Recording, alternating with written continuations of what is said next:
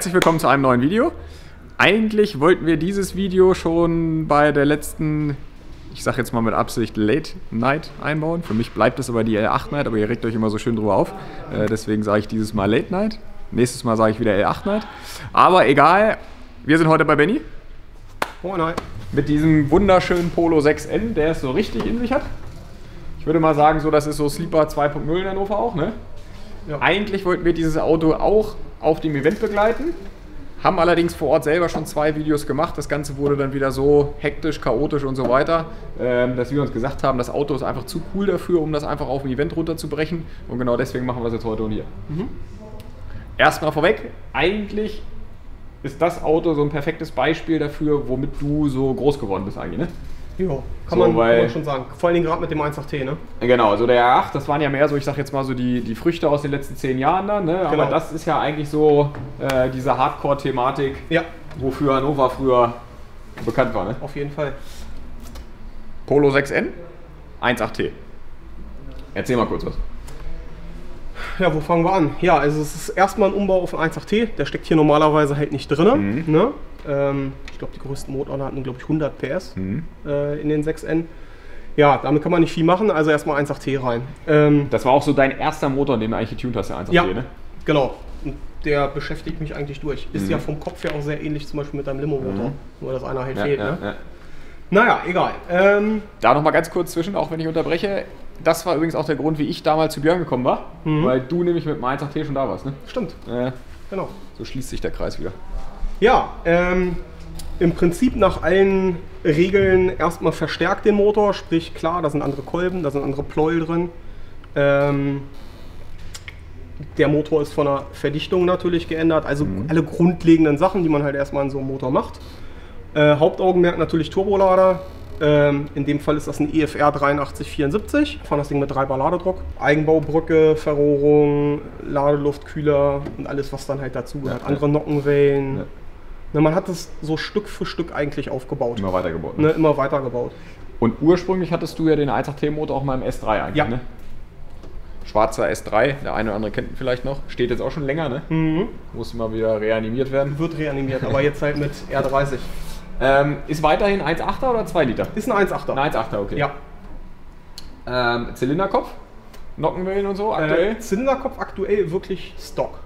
Ist komplett original der Kopf. aber Ähm, schon einer mit großen Kanälen. Ja, genau. Äh, Für die, die es nicht wissen, die gibt es mit großen und mit kleinen Kanälen. In dem Fall ist es halt ein Großkanalkopf, ein Big Port genannt. Klar, Nockenwellen sind gemacht, Federn gemacht. Genau, aber ansonsten ist der Kopf unangetastet. Wie hoch drehst du den aktuell? 7,8. 7, 8, okay. Mal kurzzeitig auch schon mal 8 gedreht oder sowas. Ja, Aber ja, 7, 8, ja. Das ist das, was ich mit Limo, mit Hybros auch immer. Ja. Damals auch noch 7, Also 8 auch noch nie, nie Probleme gehabt. Und einer der wenigen, der ein EFR-Turbo fährt. Ne? Man Mhm. hört ja aktuell mal viel Garrett, GTW, Mhm. Precision und so weiter. Mhm. EFR relativ wenig noch. Ne? Stimmt. Obwohl, die gibt es ja eigentlich schon relativ lange. Ja. Und ich habe mir den relativ früh dann auch schon geholt und tipptopp. Also ich Mhm. für einen Vierzylinder, muss ich sagen, ist das ein sehr cooles Konzept. Mhm. Also der Lader hat auch ein relativ langes Band, nutzbares Band. Es bringt ja nichts nur, wenn mal kurz Schub da Mhm. Ja, ist. Werden wir aber später auch sehen, wenn wir den mal messen, ähm, dass das wirklich ein langes, nutzbares Band ist. Und sonst komplett natürlich alles eigentlich Eigenbau. Ne? Alles eingebaut. Von der Krümmer- Abgasanlage, genau, Krümmer, Krümmer, Rohre, Abgasanlage. genau, drei Kraftstoffpumpen. So Also eine Vorförderpumpe, dann zweimal aus dem Catchtank nach vorne. E85? E85. Okay, was ich halt bei dem Auto so cool finde, ist, wenn es diese Szene wie früher in Hannover noch geben würde, ne? Mhm. Ja, ich glaube, dann wärst du jeden Freitagabend mit dem Ding überall unterwegs Kannst du gewesen. von ne? ausgehen. Weil so mit, den, mit diesen Speedline-Felgen und so sieht das Ding halt wirklich bis auf den Bügel hinten drin. Wenn du den noch rausnehmen würdest, würde man wirklich denken, Ja. ist so 18-jähriger erstes Auto, ne? So in etwa. War, war auch, sage ich mal, Sinn der Sache. Hinten jetzt der Bügel ist einfach nur, ja, wenn du auf Ver- Veranstaltungen das Ding doch mal aufs Dach drehst oder so, ne? Jetzt muss man auch dazu sagen, Frontantrieb. Ja.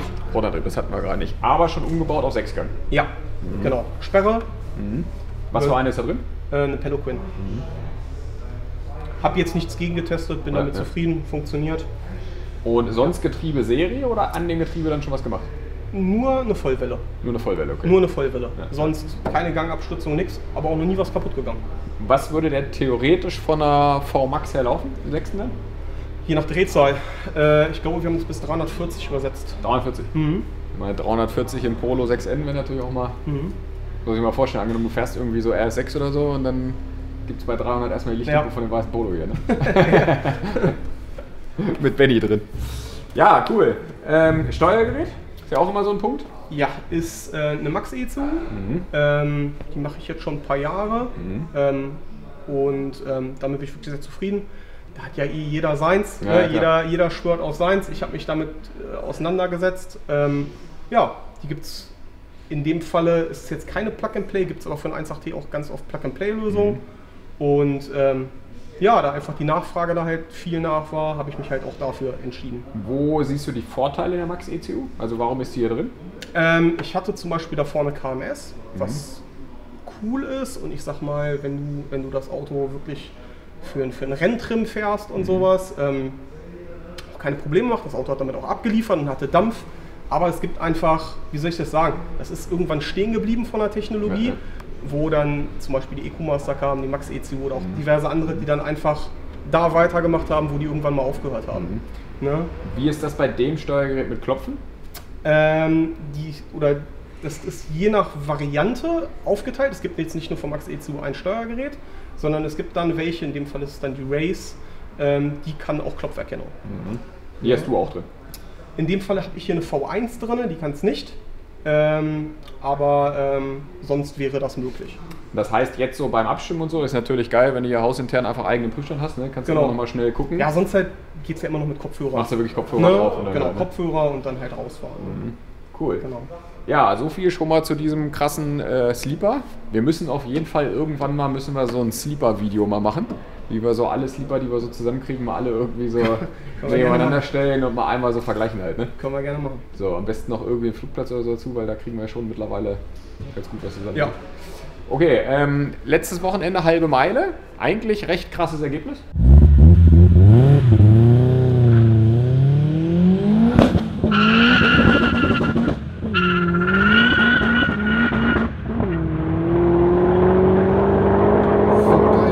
im letzten auf.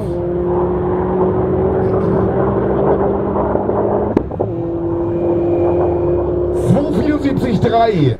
Wir waren verblüfft. Gucken wir mal, wie viel Leistung das war. Was Mhm. würdest du schätzen?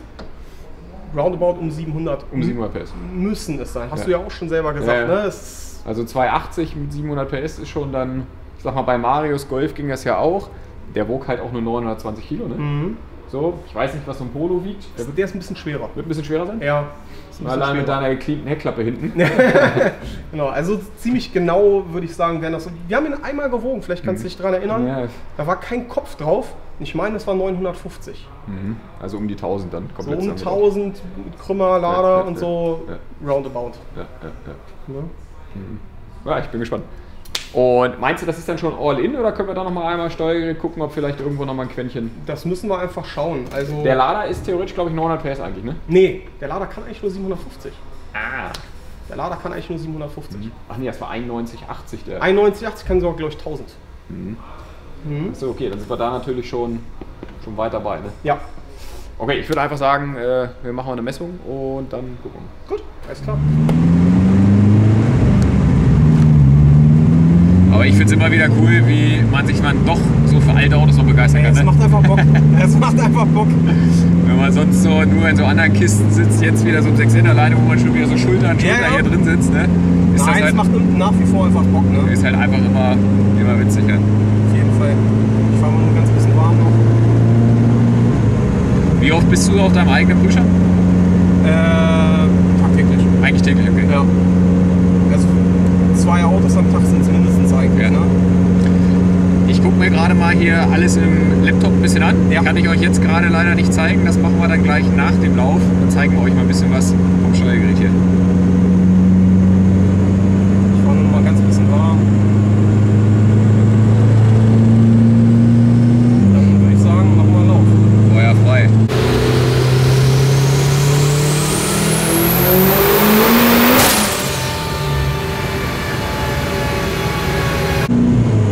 Schon mal was kaputt gegangen hier? Ne? Äh, nö. Also außer ein paar Kleinigkeiten hier und da, aber ähm, Also jetzt nichts Kap Kapital. Also auch ein, ein Motor früher mal haben wir mal geopfert. Da ist die äh, Laufbahn gerissen. Oh, kennst du vom Limo, äh, glaube ich, ne? krass. Ja, Dann würde ich sagen, schauen wir mal, was da, da rumgekommen ist. Wow, ja, 724 PS. genau.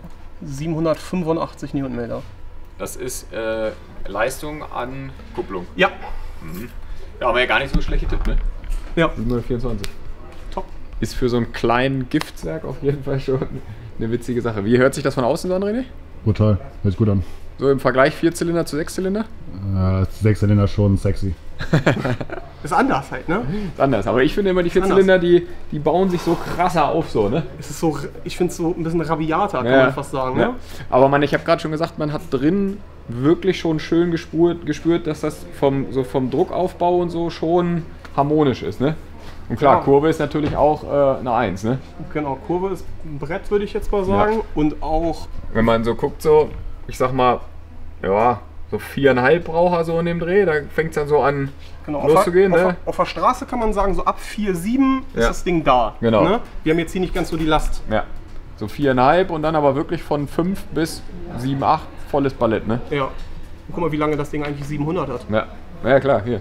Ne? Theoretisch wirklich von 6,2, 6,3 bis 7,8 über 700 PS, ne? Ja. Krass. 785 Newtonmeter ist auch schon viel eigentlich. schön Vierzylinder. krass, ne? Ja, wenn man sich überlegt, Vierzylinder 800 Newtonmeter, Mhm. bist du bei Sechszylinder bei 1200. Das ist schon, Drehmoment ist vorhanden. das kann schon was. Ja, wir könnten uns jetzt dazu, ich habe es jetzt mal ein bisschen vereinfacht gemacht, können wir uns die Lokside anschauen, ne? Mhm. Ähm, können jetzt sehen, wie hoch wir gedreht haben. Das heißt, für die, die sowas jetzt noch nie gesehen haben, hier unten haben wir einfach nur den Zeitstrahl und auf der Achse sind halt in den verschiedenen Farben die verschiedenen Werte. Genau, ich bewege das mal, damit man das ein bisschen versteht. Wir haben hier eine Druckachse und wir haben hier eine Drehzahlachse. Und jetzt kann ich sehen, ich steigere nach hier die Drehzahl, wie ich den Lader antakte. Jetzt sieht man, ne, hier steige ich mit 50% ein. Hier muss ich ihn dann irgendwann schon einfangen, weil sonst macht er, was er will. Ah, okay, das heißt, das heißt, man sieht, dass er. Warte, wo haben wir Drehzahl? Hier. Ähm, dass genau zu dem Zeitpunkt ist er da in dem Kennfeld oben gefahren. Ganz genau. Okay, also Und jetzt, das lockt er quasi mit, wo du im Kennfeld gefahren Genau, bist. und jetzt kann ich natürlich auch genau gucken, was ist. Zum Beispiel, ich sehe jetzt bei 5.4, da fahren wir Lambda 081. Das passt, das ist gut. Ich sehe dabei gleich den Kraftstoffdruck, ich sehe die Drosselklappe ist voll auf. Wir haben eine Ansauglufttemperatur von 35 Grad, Was natürlich auch ein Traum ist, ne? ne, was auch super ist. So, und jetzt so gehe ich dann hier einfach weiter und kann genau sehen, was passiert. Ich kann jetzt natürlich noch mir viel mehr anzeigen lassen. Wir haben es jetzt einfach nur überschaubar ja. gemacht, damit man die Linien halt besser deuten kann. Zum Beispiel so Zündwinkel und sowas. Das nehme ich mir norm- normalerweise mit rein und auch zum Beispiel eine Korrektur, weil wenn die Ansauglufttemperatur steigt, muss man auch irgendwann den Zündwinkel dafür korrigieren. Ne? Ähm, und das macht das Steuergerät quasi im Hintergrund. Und dann kann ich zum Beispiel sehen, äh, wenn er das tut. Ne? Also das ist jetzt zum Beispiel das Ladedruck ähm, Kennfeld. Man kann das auch unterschiedlich dann halt darstellen, wenn man das möchte. Ähm, zum Beispiel, ich zeige, gehe auch mal was anderes, um dir das mal zu zeigen. Hier haben wir zum Beispiel, das ist ein Teil vom Kraftstoffkennfeld. Ähm, hier gen geht genau das gleiche. Jetzt kannst du sehen, wo der durchfährt. Ne? Das ist natürlich jetzt so zum Nachkorrigieren eigentlich perfekt so, ne? Voll geil, weil Weil er ja auch passend dazu Lambda anzeigt und so, ne? Genau, weil ich sehe ja jetzt natürlich auch passend dazu, ich brauche hier nichts irgendwie machen. Er fährt ja nur diesen Bereich ab. Wenn er da zu fett ist oder jetzt zu Ja, mager, ja, dann passe ja. ich es halt dementsprechend an. Ne? Und ähm, ja, die Darstellungen kann man dann dementsprechend halt ändern, Mhm. ne? um, ich sag mal, die Übergänge ein bisschen sauberer zu Ja, gestalten. ja, ja. Ne? Für die, die jetzt nicht so direkt alle Zahlen in einem Blick sehen können, Ja, so ungefähr, da ist genau. natürlich so eine 3D-Ansicht immer noch mal ein bisschen. Genau. Du siehst jetzt aber hier auch zum Beispiel ganz schön, hier sieht man immer ein bisschen eine Effizienz vom Motor. Und zwar, du kannst hier jetzt wunderschön sehen, ähm, dass wir haben hier den Druckaufbau, der fährt, ich habe den Lok jetzt leider aus, der fährt dann hier rein.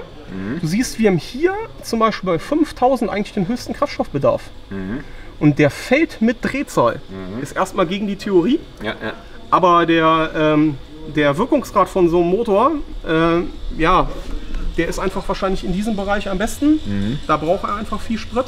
Das ist nicht, weil der Druck sinkt, dass es da weniger wird, sondern es ist dann einfach vom, vom Motortyp zu Motortyp unterschiedlich. Wobei ja, ich glaube, dann hier vom Wirkungsgrad her schlechter ist und oben wieder besser ist. Ah, noch so, ja, sorry, ne? sorry. So, genau, er ist, er ist hier vom. Wirkungsgrad schlechter und Genau. hier oben sind Nockenwellen wahrscheinlich dann perfekt. Hier vielleicht Genau. ein bisschen zu viel Überschneidung oder so. Genau. Ne? Aber trotzdem kann man viel machen, tun, lernen und so weiter in dem Ding. Genau. Krasse Sache. Ähm, das heißt, das waren jetzt gerade mal 40% Taktung vom Wastegate. Mhm. Wir reden allerdings schon über 3,1 Bar, waren es glaube ich gerade, ne? Knapp. Äh, wir können jetzt, theoretisch kann der Sensor nur 3 Bar messen. Ah, das heißt, es können auch schon mehr sein. Nee, also ich glaube, bi- bis dahin passt es ne, ziemlich genau, weil ich habe jetzt einfach mal geschaut, ähm, ja, wenn ich jetzt 40% fahre, Ja. dann sind es genau 3 Bar und mit 43% sind es dann 3,1. Also Mhm, es kann auch sein, dass er jetzt noch 3,2, 3,3 Bar messen kann, aber dann wird irgendwann Ende sein. Ne? Mhm, Dann Dann, Feierabend. müssten wir einfach das Ganze extern einmal aufzeichnen. Ja, ja, ja. Könnte ich jetzt aber einfach kurz einen Schlauch anschließen. Ähm, das heißt, würdest du dem Ganzen noch, noch mehr zutrauen und gucken oder lieber so lassen und Probefahrt? Ja, so ein bisschen können wir noch mal zumindest mal probieren. Ne? Okay, ja, dann testen wir. Ne? Wollen wir den Druck nochmal aufzeichnen? Ja klar, ich würde sagen, ich würd sagen, du tipperst mal kurz hier rum. Das Ja. soll Benny lieber in Ruhe und äh, mit safen Gedanken machen. Machen wir. Und dann geht's weiter. Gut.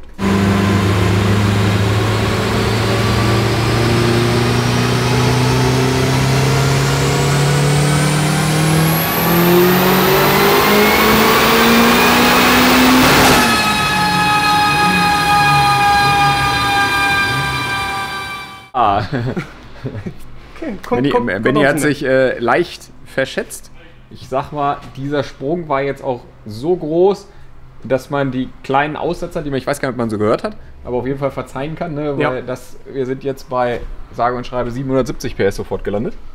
Und jetzt wirklich auch glatten 800 Newtonmeter. Mhm. Das heißt, jetzt ein Sprung äh, von 50 PS. Ja, Da wird jetzt noch mal ein bisschen Feintuning auf jeden Fall angesagt sein. genau. Also jetzt ist es quasi so, ich müsste mir jetzt die Loks angucken, Mhm. fein säuberlich und müsste jetzt schauen, was war es jetzt? War es jetzt fehlendes Triggersignal? Sind es vielleicht drin Zündaussetzer? Pustet Mhm. Ja. dann Funken aus? Ja. Kerzendengeln? Ja. Lambda sah gut aus, tendenziell eher zu Ja. fett. Jetzt muss man alles durchchecken. Ja. Ne? Können wir mal die, die einmal übereinander Ja, legen? können wir machen.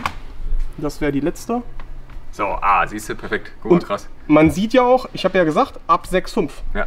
Und jetzt sieht man auch schön, Ja, man sieht genau an der roten Kurve ab 6,5, wo Benny jetzt in der Tabelle einfach 5% mehr Druck gegeben hat, beziehungsweise 5% mehr Taktung, ähm, wie hier Leistung hochgeht. Ne? ja, also Mhm. belohnt das Ding gleich doch ganz schön heftig. Hätte ich jetzt selber nicht gedacht. das dann, Ja, äh, wie ihr seht, ist noch Potenzial da. ja, Mal gucken, wo die Reise hingeht. Ich bin mir 100% sicher, dass Benny mir in der Woche schreibt, ja, jetzt sind es 8,50. ich weiß es nicht. Äh, das kann der Lader nicht, Ähm, aber Viel mehr interessiert mich jetzt auf jeden Fall, wie das Ding fährt. ja, fährt geil. So ein paar Zeiten hast Bin du ich schon mal gehört. wirklich gespannt, weil es ist halt eine Polo-Achse. Ne? Mhm. So, beim Golf war ich ja schon skeptisch, okay, aber jetzt im Polo bin ich wirklich gespannt. Mhm. Also ich würde sagen, wir schnallen ab Machen wir. und drehen mal eine Runde. Alles klar. Das seht ihr aber im nächsten Video. Like, ride with me if you ride with me, you can slide with me if you feel like 550 on the five sticky, come get high with me, that's a deal, right? Ride with me if you ride with me, you can slide with me if you feel like 550 on the five sticky, come get high with me, that's a deal, right? That's a deal, right? That's a bet, right? That's a bet, right? That's a deal, right? That's a deal, right? That's a bet, right? That's a deal, right? That's a deal, right? That's a bet, right? That's a deal, right? That's